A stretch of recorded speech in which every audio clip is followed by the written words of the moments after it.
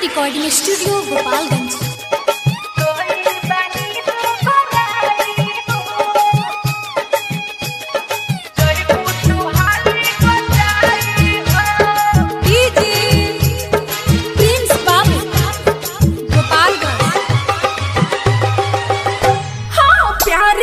चक्कर में ही हो करे जा गोइल बनी तो बना